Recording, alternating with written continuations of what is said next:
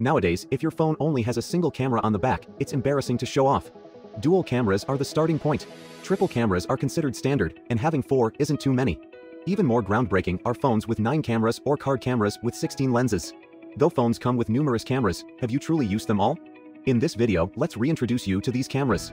Currently, the primary rear cameras on phones include main, ultra-wide-angle, telephoto, macro, infrared night vision, and depth sensors. Main camera. Also known as the wide-angle lens, it's the most frequently used lens with an equivalent focal length of about 24 millimeters. It's also the most versatile camera on smartphones. By default, the camera opens to the main lens. It's also used for video calls and scanning QR codes. The highest pixel count for main cameras currently reaches 200 megapixel. The Umidigi A15 Ultra is equipped with a 200 megapixel main camera, providing astonishing photo quality. Ultra-wide angle. The ultra-wide angle lens captures a broader scene without moving the lens position. The equivalent focal length for a phone's ultra-wide angle is about 14 millimeters. Buildings appear more majestic through the ultra-wide lens. Indoor scenes become even more captivating.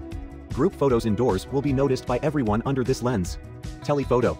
Telephoto lenses allow for distant shots, capturing scenes far from us. Due to phone thickness limitations, telephoto lenses usually offer 3x optical zoom, with an equivalent focal length of about 70 millimeters. Some flagship phones also incorporate periscope telephoto lenses for longer focal lengths.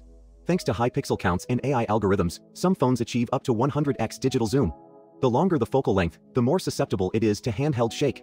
Therefore, telephoto lenses typically come with optical and electronic stabilization.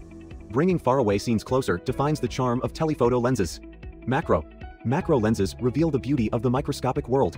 Morning dewdrops, textures of leaves and flowers, and tiny insect details can inspire your creativity.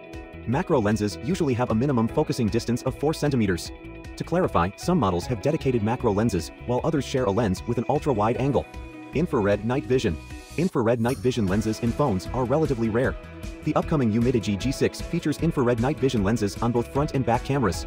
The infrared night vision lens comprises an infrared emitter and an infrared camera.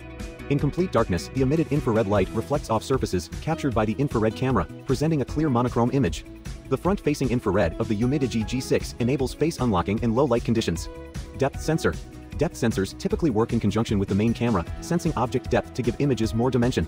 Used often for portrait shots, phones can achieve SLR-like effects, rendering sharp subjects against blurred backgrounds. When switching lenses, different manufacturers have varying methods. Most use sliding gestures for seamless transitions between ultra-wide, wide, and telephoto lenses.